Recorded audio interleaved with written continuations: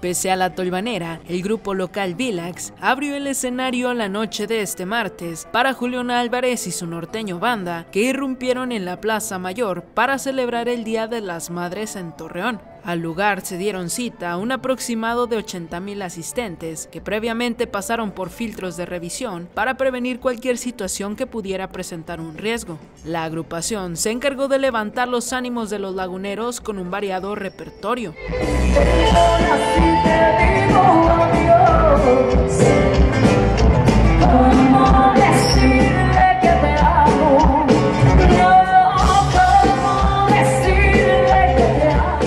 Antes de subir al escenario, Julián Álvarez agradeció la cobertura de su presentación y se consideró afortunado de estar en la laguna.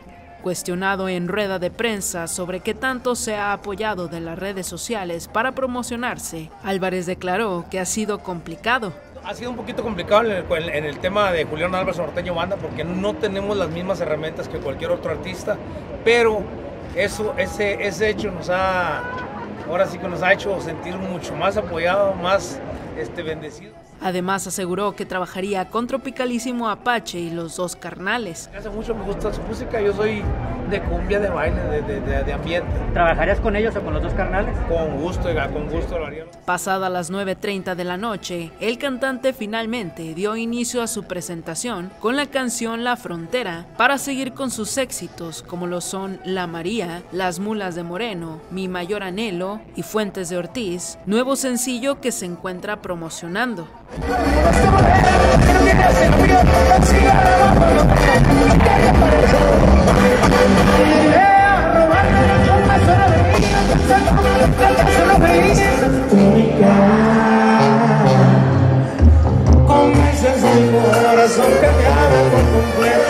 Yo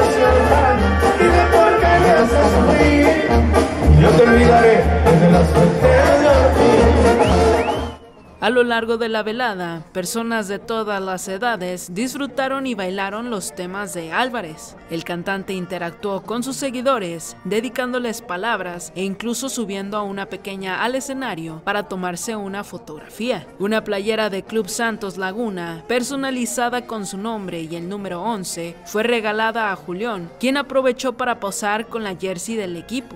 Cerca de las 12.30 dio por terminado el evento, agradeciendo a los laguneros y felicitando a las madres.